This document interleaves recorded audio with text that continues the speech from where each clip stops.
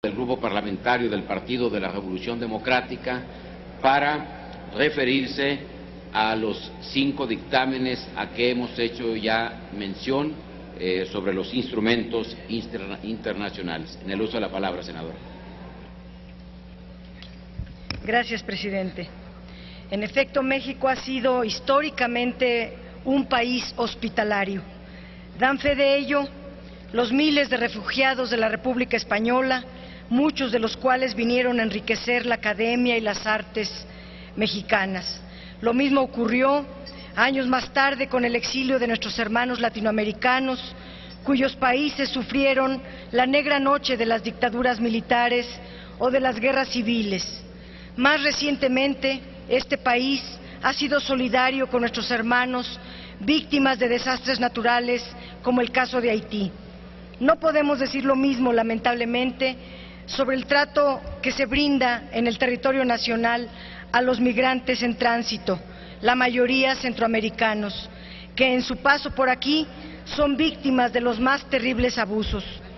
Estamos a pocos años de que nuestra Carta Magna llegue al centenario de su vigencia. A partir de la reforma del artículo primero en 2011, el texto constitucional comenzó una transición de la noción de garantías individuales a la de los derechos humanos. Este cambio entraña el reto de diseñar el andamiaje institucional y las políticas públicas pertinentes a fin de que todas las personas tengan plenamente garantizado los derechos contenidos en la Constitución misma y en los tratados internacionales ratificados por el Estado mexicano, que son más de 1.600, de los cuales alrededor de 200 tienen como materia esencial la protección de uno o varios derechos humanos. Nuestras disposiciones legales se encuentran desfasadas respecto de los derechos de los extranjeros que residen aquí o que se encuentran de paso en nuestro país. Es por ello que debemos congratularnos con el retiro de las reservas que México mantenía a diversos tratados en materia de protección de los derechos a los extranjeros. Hasta antes de su reforma, el artículo 33 constitucional otorgaba amplia discrecionalidad al Gobierno para determinar la situación de un ciudadano de otro país y establecía francamente eh, la posibilidad de incurrir en abusos. El retiro de estas reservas a los tratados internacionales deriva de la reforma constitucional en materia de derechos humanos de 2011. Se recordará que mediante esta reforma se modificó la forma de concebir, interpretar y aplicar tales derechos en México. De aquí que no sea congruente que se mantengan dichas reservas. Al retirarlas, además, se armoniza el contenido constitucional con lo establecido en los tratados internacionales que el Estado mexicano ha suscrito en materia de derechos humanos. Con la reforma de 2011 se tomó como base la Convención Americana de los Derechos Humanos.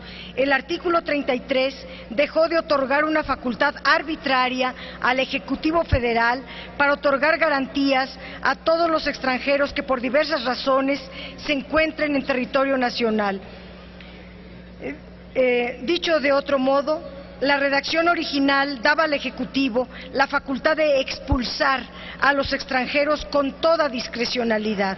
Ahora, en cambio, se establece el derecho de previa audiencia y la obligación gubernamental de seguir y de apegarse a los procedimientos de la ley.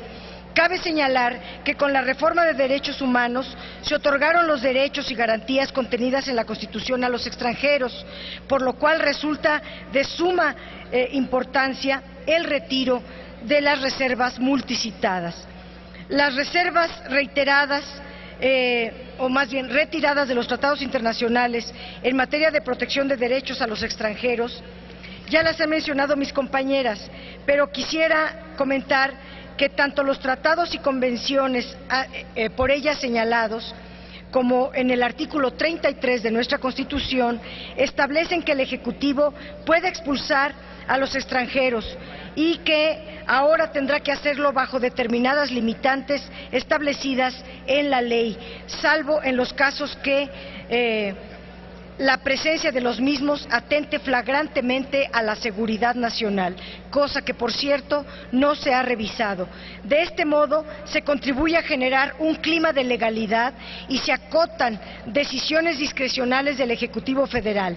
Asimismo, al reconocer la competencia contenciosa de la Corte Interamericana de los Derechos Humanos en materia de expulsión de extranjeros, se establece que las decisiones emitidas por la Corte sean de carácter vinculatorio y deben ser cumplidas por el Estado mexicano en los casos revisados. Por otro lado, el retiro de la reserva formulada a la Convención Interamericana sobre Desaparición Forzada de Personas es acorde con la sentencia emitida por la Corte Internacional de Derechos Humanos sobre el caso Radilla Pacheco, en su resolución contra los Estados Unidos mexicanos. La Comisión Interamericana de Derechos Humanos estimó que el fuero de guerra o militar no puede aplicarse a hechos que no tienen estricta conexión con la disciplina militar o bienes jurídicos propios del ámbito castrense, puesto que contraviene diversas disposiciones de la Convención Interamericana de los Derechos Humanos, así como de la Convención eh, de desaparición forzada. El retiro de esta reserva también es congruente con la sentencia de la Suprema Corte de Justicia de la Nación sobre el caso Radilla Pacheco. En el expediente que ya conocimos, donde se estableció que las sentencias condenatorias de la Comisión Interamericana de Derechos Humanos son obligatorias para el Poder Judicial en sus términos, concretamente en los casos relacionados con violaciones a derechos humanos por parte de elementos militares. Sin embargo, para que todos estos ordenamientos no queden en buenas intenciones y puedan traducirse en preceptos jurídicos operativos y eficaces, es indispensable que se le ponga fecha lo antes posible a elaborar la ley reglamentaria que haga vigente estos acuerdos, ya que en el quinto transitorio del decreto constitucional, a diferencia de todos los decretos constitucionales que ha emitido eh, el Ejecutivo, se señaló que en tanto no se expida la ley reglamentaria de este artículo, se seguirá aplicando el artículo vigente en el texto. Es muy importante entonces trabajar en la ley reglamentaria para que no quede este retiro de reservas en letra muerta. Es cuanto. Muchas gracias. Gracias, senadora Dolores Padierna Luna.